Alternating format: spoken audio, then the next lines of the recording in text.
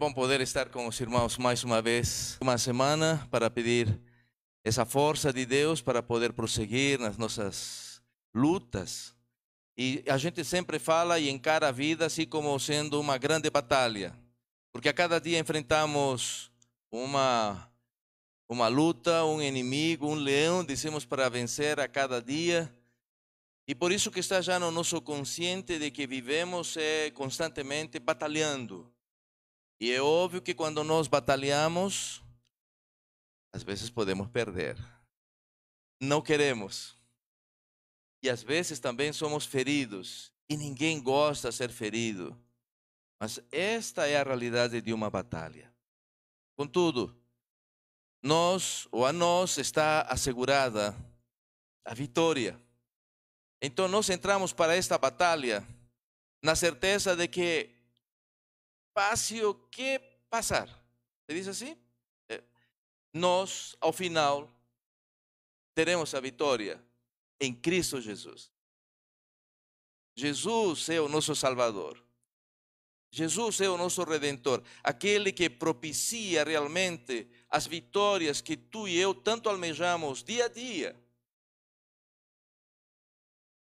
Quando nós vivemos com isto em mente, se torna mais fácil poder encarar toda e qualquer dificuldade. Do contrário, até as coisas mínimas, elas se tornam tão enormes, intransponíveis e nos atemorizam e nos levam ao desânimo e aí começamos a perder uma batalha que já estava ganha, mas acabamos perdendo. Esta é a nossa vida. Mas quando eu chego aqui e encontro vocês, eu sempre digo, eu tenho que agradecer a Deus. Às vezes não encontro alguns rostos que venham na expectativa de encontrá-los, não é? Mas fico feliz quando então até por pelas transmissões, ali pela transmissão, pelas mídias, ainda sabemos que eles estão. Isso significa de que são pessoas também que estão batalhando, estão firmes. E hoje eu estou assim feliz de poder estar aqui com vocês, porque são raras as oportunidades quando podemos estar com toda a família e hoje eu estou com, com a minha família aqui. E, e junto da família está ali a minha mãe, e aí, literalmente, vocês podem ver, pesa ah, os anos, os 88 anos, já pesam nas costas dela, não é? E mas sabem, queridos, é, é um privilégio para, para mim poder ainda contar com a presença dela, a companhia, é? E, e esses dias conversando com ela, ela dizendo assim, é, realmente os, é, os anos pesam, a, a velhice traz algumas limitações e, e isto me faz refletir. E por enquanto eu tenho que usufruir bastante o privilégio de poder ir e vir sem depender de outros. É duro quando temos que depender de outras pessoas. Mas essa é uma lei da vida. E temos que preparar-nos para saber viver também assim. Aliás, isso fará parte da nossa luta. Mas quando chegar, enfrentemos na certeza de que nós também seremos vítimas. O tema desta noite, queridos, tem a ver com este assunto tão conhecido e talvez então tão corriqueiro, uma frase que nós sempre falamos de Jesus ser o nosso Salvador, Jesus ser o nosso Redentor. E quando pensamos nele como salvação, logo nós pensamos só exclusivamente assim em termos de vida espiritual de nossos pecados, e é porque ele morreu na cruz para redimir-nos para apagar nossos pecados. E é por isso que Ele, sim, também é o nosso Salvador. E cada um de nós tem uma linda história de como Jesus foi para você útil, Salvador, e você sentiu como os seus pecados eles foram se dissipando porque Ele os apagou. E quando Ele os apaga, Ele diz assim: o faz de uma forma a nunca mais lembrar, para darnos a certeza de que podemos viver em paz, porque nos acertamos com Deus, com aquele de quem depende tudo da nossa existência. E aí ele disse assim: Eu lancei o teu pecado no fundo do mar. Essa é uma das frases que sempre ecoam nos nossos ouvidos para dar-nos essa certeza. Ele apagou nossos pecados. Não há como resgatá-los dali. Não há por que lembrar. Vivamos em paz. Contudo, queridos, muitas vezes nós ainda assim nos esquecemos que Jesus, como Salvador, Ele é também ainda Salvador de ti e de mim em outros aspectos. Porque é bom ter os pecados perdoados, sim, é bom, é fundamental. Mas aí para vivermos o dia a dia, nós precisamos dele também como Salvador. Só que ele agora não se apresenta apenas como um Salvador, como aquele que diz assim: estou perdoando os teus pecados, ele agora se apresenta como sendo a luz, a luz que tu e eu precisamos. E eu quero convidá-los então a refletirmos um pouquinho a respeito disto que ele diz para ti e para mim. Porque ele se torna o nosso Salvador por ser luz. Já enfrentaste algum momento quando desesperadamente querias luz? Ou dito de outra maneira, já estiveste em alguma situação, em alguma circunstância, em trevas, em escuridão, e se você tivesse um pouquinho de luz, eh, seria o suficiente para você ter segurança, para você conseguir algo, para chegar à porta, para pegar algo, para encontrar, para se segurar. Já passaste por esse momento para dar essa importância à luz? Porque a luz realmente, ela é indispensável para as nossas vidas. A escuridão, ela tem seu lugar. Mas nós precisamos de luz, muitas vezes.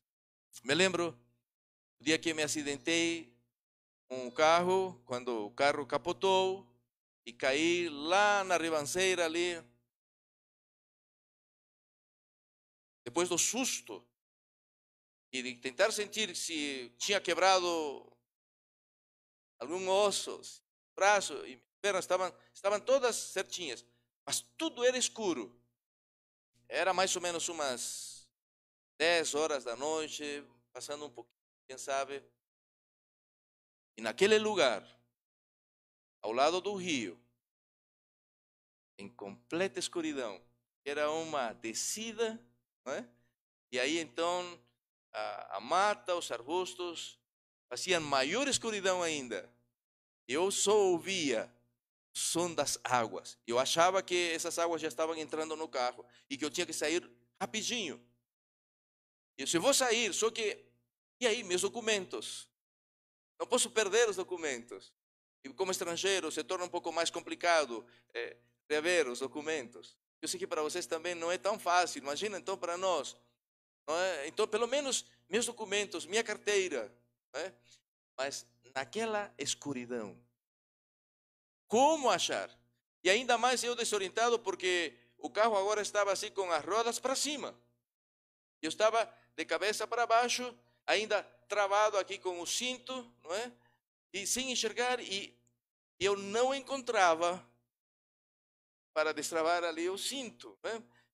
Eu apertava, buscava do outro lado, aí meu, minha cabeça funcionou e não, não, para aí, se não está desse lado, tem que estar do outro lado.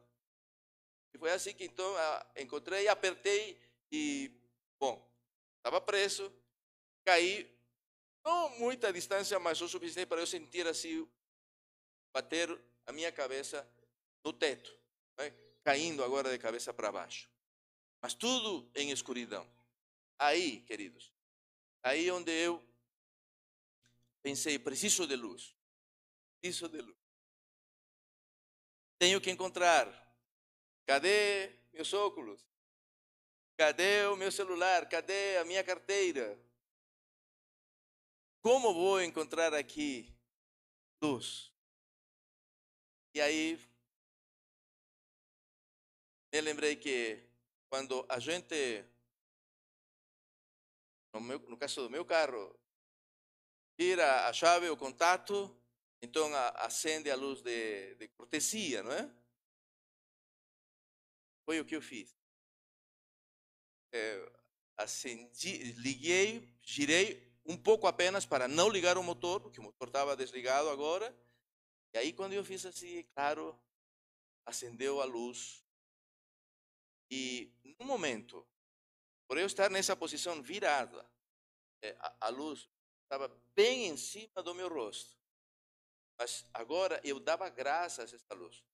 Eu não, eu não rejeitei essa luz. Eu disse, não, está me ofuscando, não. Eu, podia me ofuscar os olhos, mas eu estava precisando de luz.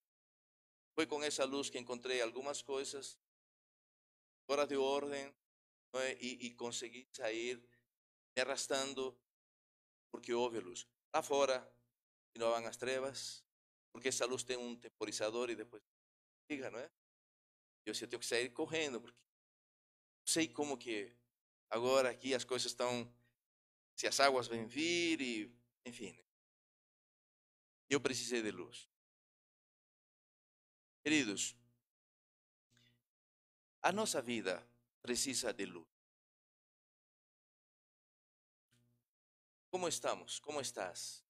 Quando tomamos decisões, nós sempre falamos que precisamos de mais luz. Ah, se eu tivesse luz. Significa, se eu pudesse ter visto, né? teria percebido onde estava o erro. Luz. Se eu tivesse luz, ah, eu não teria errado. A luz nos mostra o caminho. Parece que nós vamos então por caminhos tortuosos. Ou então tropeçamos porque faltou-nos luz. Lembro-me de outra oportunidade quando nós, eh, meu pai e eu, num desses acampamentos, precisamos retornar para casa. Por alguma razão, eu quis tornar com ele para acompanhá-lo. E a lua e que nos ajudou, que na cidade onde nós estávamos havia muita ainda lava, lava, da vulcão, não é? E isso é meio esbranquiçado. Né? A lua, a luz da lua refletia ali. Parecia água, mas não. Era apenas mostrando. Luz é fundamental. Então, quando nós falamos de que Jesus se apresenta para nós como sendo essa luz, é porque ele entende e é ele que disse isso. E convido-lhes a abrir então a Bíblia no livro de São João. Porque é o apóstolo João que escreve isto, registra essas palavras em João capítulo 9, São João capítulo 9, o verso 5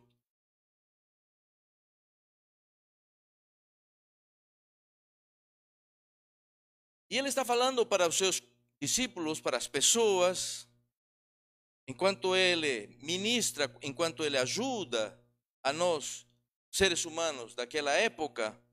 Então ele diz assim, São João capítulo 9, verso 5: Enquanto estou no mundo, que diz ali? Sou a luz do mundo. Enquanto estou. E enquanto ele esteve aqui, queridos, ele iluminou a, a, a vida de muitas pessoas. E uma maneira de iluminar a vida de alguém que estava completamente em trevas era aquele cego de nascença. Eu pensou, não sei se haveria muita vantagem, mas talvez um pouco. Se alguém de nós nasce, chega a ver pelo menos o rosto da mamãe e do papai por um bom tempo, vê a beleza das flores, as cores dos passarinhos, do beija-flor e algumas outras belezas da vida. Mas por alguma razão depois vai perdendo, perdendo, perdendo a capacidade visual e agora dia e noite para ele são trevas. Porque mesmo que abre os olhos, ele não enxerga nada. Tudo é escuridão.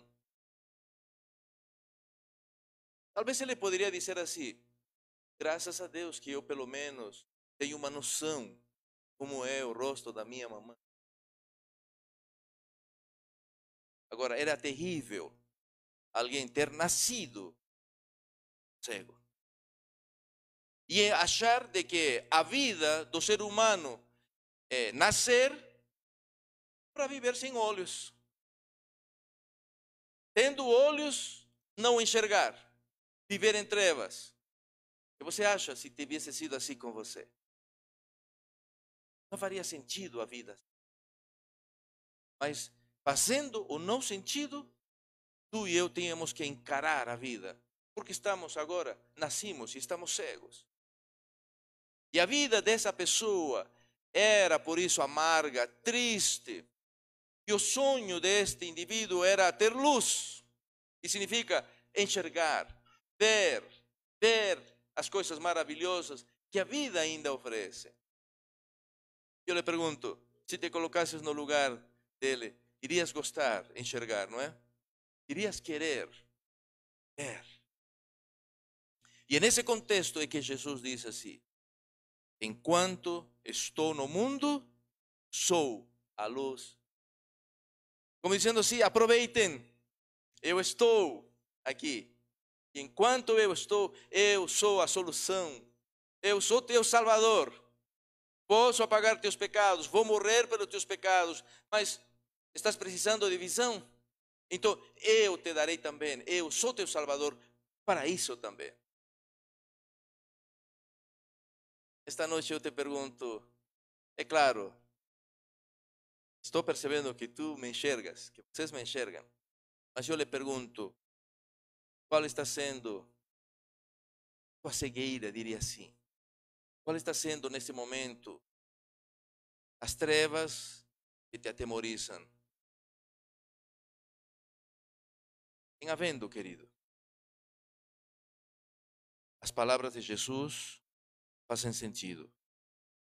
Eu sou a luz do mundo. Mas você talvez vai me dizer assim, mas pastor, ele disse isso enquanto estou no mundo e agora ele não está mais. É verdade. Ele realizou seu ministério. Ele viveu entre nós, mas hoje ele não está mais conosco. Então, não é mais luz para ti e para mim? Muito pelo contrário. Ele continua sendo luz. E é por isso que sua palavra, ele continua nos ensinando. E agora nós vamos no mesmo livro de São João, vamos agora ao capítulo 12. São João, capítulo 12, verso então 48. Verso 46, perdão. Ali João registra as palavras de Jesus e diz assim: desde o 45, diz assim: E quem me vê a mim, vê aquele que me enviou. E verso 46 diz assim: Eu sou a luz que vim ao mundo. Marquem nas suas Bíblias, porque ali diz: Para que todo aquele que crê em mim não pereça e não permaneça, então, nas trevas. É uma escolha que tu e eu devemos fazer. Ele veio para iluminar. Mas se tu e eu cremos nele, e crer significa aceitá-lo, crer significa colocar-nos aos seus cuidados, crer significa, como esse cego, dizer assim: Senhor, que eu veja.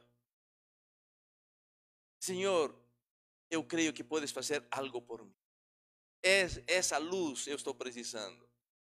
E quando tu e eu, então, cremos nele, não temos como permanecer nas trevas, porque elas, as trevas, se dissipam. Para ti e para mim. As trevas continuam. O mundo continua em trevas. E cada vez trevas mais complexas, mais densas. Não vamos gastar tempo em falar disso, mas isto é um fato. Vocês sabem que à medida que vamos chegando para o tempo do fim, chamamos a isso de trevas. E as pessoas estão vivendo como se estivessem em escuridão. Elas tropeçam, elas erram, elas tomam decisões confusas, erradas, equivocadas e sofrem. O mundo está assim. Mas quem crê nele, então não pode mais permanecer. Não tem como, porque ele é a luz. Ele é. E para ratificar ainda, então João registra também as palavras de Jesus quando no capítulo 8, verso 12,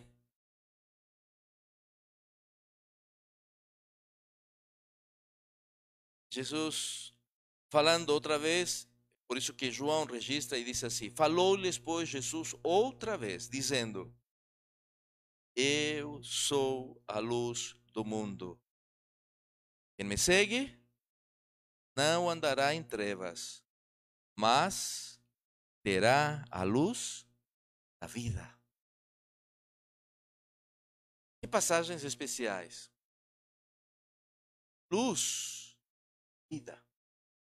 Não apenas uma luz para iluminar, para resolver alguma coisa, mas é para viver. É como as plantas, ainda que existem algumas plantas que se dão bem na sombra, não é? Mas o ser humano não. Ser humano precisa de luz para viver. A vida advém também da luz. E aí ele se apresenta e diz assim: Eu sou a luz do mundo, e quem me segue não andará em trevas, mas terá a luz da vida o necessário para viver. É desta luz que nós precisamos, queridos irmãos, amigos. Nós precisamos desta. Aceitar Jesus é aceitar esta luz. A gente vem à igreja e procuramos estar como irmãos e fazemos bem isto. Mas acima de tudo, estamos aqui é porque estamos buscando luz, para as nossas vidas. E todos nós precisamos, pelas diferentes circunstâncias em que nossas vidas passam, e as nossas vidas, elas vão em diferente ritmo, com diferentes compromissos. Cada um de nós precisa de luz. Minha pergunta é: aceitas esta luz? Queres ter esta luz? E poderíamos dizer de forma diferente: gostarias viver melhor? Gostarias evitar tropeçar? Gostarias não te machucar? Gostarias tomar decisões certas? Gostarias fazer bons negócios? Gostarias que a tua família fosse bem estabelecida? E aí continuamos numa lista, poderíamos continuar nessa relação, para dizer assim. Então precisamos porque Ele está para dar-nos luz para todas essas coisas. Isto é ser nosso Salvador. Jesus é luz. E é por isso que tu e eu devemos querer que Ele brilhe nas nossas vidas. Permita-me um texto mais. Porque agora que Ele nos dá a luz e Ele disse que nós podemos ter essa luz, é, é bom ter essa luz. E ele não está mais aqui, mas essa é a razão pela qual, então, em São Mateus, e vamos então ao capítulo 5.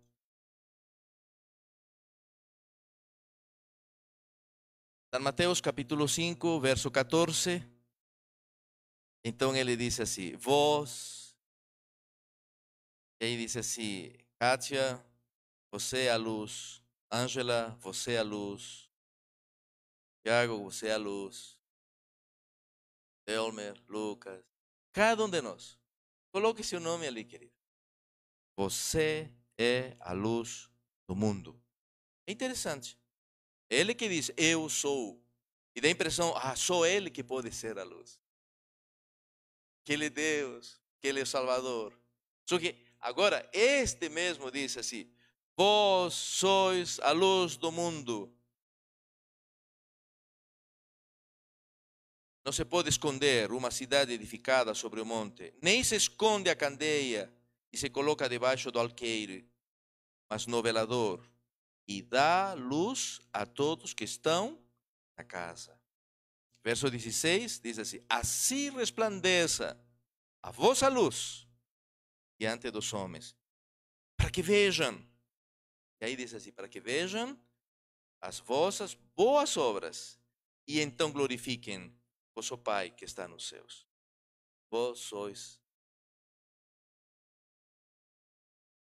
Assim, Ele sendo nosso Salvador, em tu e eu aceitando como a luz para as nossas vidas, agora tu e eu podemos brilhar. E pedir para que Ele continue brilhando em nós, para poder iluminar outras pessoas. E assim, querido. Então, vivermos em luz e darmos luz a tantas outras pessoas. Queremos viver assim? Queremos ter essa luz? E queremos dar luz para os outros? Que Deus nos abençoe. Que nos ajude a desfrutar dessa luz. Deus, nosso bom Pai, nós aceitamos a tua luz. Nós cantamos te pedindo, vem, Senhor, trazer a tua luz. E nós aceitamos porque queremos viver, Senhor, queremos ser luzes também para tantas pessoas que ainda não te conhecem, de maneira que quando Jesus volte, ele encontre aqui pessoas que, enquanto passaram por esta vida, brilharam, brilharam como Jesus também brilhou. Dá-nos esta graça, é o que nós te suplicamos e agradecemos por Jesus. Amém.